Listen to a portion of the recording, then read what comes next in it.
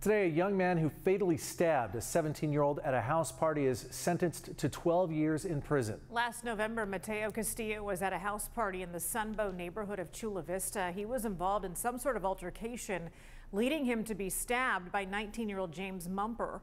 Mumper pleaded guilty to voluntary manslaughter and admitted to the allegation of using a deadly weapon.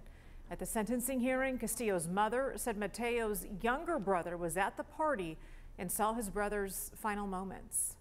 I hate the fact that one day the descendant will be able to hold his mother again or his father and tell them that he loves them. I was robbed of that. Mumper has already served 350 days, which will be credited to his 12 year sentence.